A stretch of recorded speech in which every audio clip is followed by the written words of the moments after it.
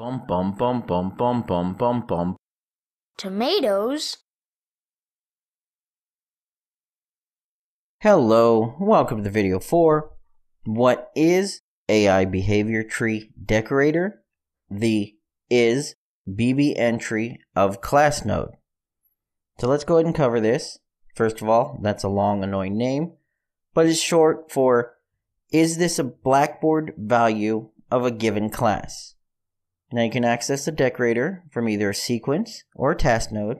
You can right click, add decorator, and this one's shorthanded to is BB entry of class. And this is the result you're going to get. Now by default, of course, you're going to have none for the key, but whenever you click on a decorator the first time, it's going to try to find a valid match.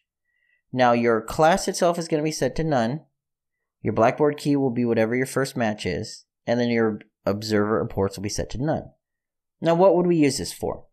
Well, this is basically a way to check and see if the class you're testing against matches a Blackboard key's value. So for my example here, I'm going to go ahead and show you it working. I have my generic character, which is my player, and then I have my Blackboard key of player. Now if I go ahead and run this, what you're going to see is, well, it works. It works like expected. It checks my service here is updating my player object with player. It's a generic character. This is checking to see if it is of type generic character for the player, which it is. And then it runs my sequence, which is a move to. Now, since I'm not using any other decorators to make sure we're already there and things like that, it's it's going to keep continually trying this loop. Now, what would this be good for? Well, let's say, for example, you have multiple enemies in your game and you only really want to use one behavior tree, but some enemies have different parameters or some enemies have different abilities that you're allowing them to use. Well, you can segregate and use one behavior tree for multiple enemies by using the is it of the player class. So let's say, for example, we had this here. And let's say we had another sequence here. We put our is BB entry oops, of class. Let's actually choose the right one. And then we'll have this one do a move to as well. And we'll have this moving to the player's location. Actually, that would be funny. If you had the player move to the AI and the AI move to the player, it would just be rounding in circles. But that was slightly off topic. So let's say you have your AI, which apparently I can't not spell. There we go. So let's say you have an AI character. Right now, for our example, we only have one, but let's say you had five of them. And let's say each one of these is a different one. Let's go ahead and we'll set this one up so it fails. We're going to make sure this is invalid. We're just going to check and see if our player is equal to... Uh, do we have a box in here? We'll see if the player is equal to a scale box. Why not?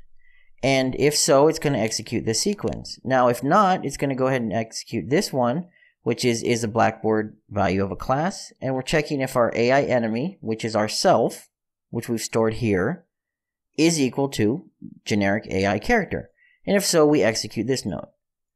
Now if we go ahead and run this, and we check it out, you're going to find it fails. Well, it fails because in here I haven't set the AI character yet. If you look down here, AI character was not set, now it is. Now it goes back to none. And you notice when that happened, this stopped running. So in our scenario here, let me run it again and let you watch it. You're going to see our AI enemy be none, and nothing will match, so nothing runs. Then we get a valid AI enemy, so this branch runs. And then our AI enemy disappears, which means this branch will now fail. And since both of them fail on our selector, we go all the way back to our root. So let's run this. Everything's failing, none for the AI enemy. We get a valid AI enemy. We're now running this branch since this branch is invalid. Our AI enemy will become none again. Once this finishes, we go ahead and it goes back to the top. Now, if I want it to abort normally, you can use your flow control for observer aborts, and I could abort immediately, for example, if it immediately changed. So that is what our is blackboard value of class, or in shorthand in here, it's the is BB entry of class decorator notice 4. It's for comparing a Blackboard entry against a class and seeing if they are the same. And a good use for it, as you can see here, is to allow you to have one generic or universal behavior tree that has different behaviors depending on what you're testing against. In this case, each of these could be enemy 1, enemy 2, enemy 3, and you wouldn't have to rewrite the same basic AI or behavior tree for everything. Now, if you have any questions or comments, please feel free to leave them below.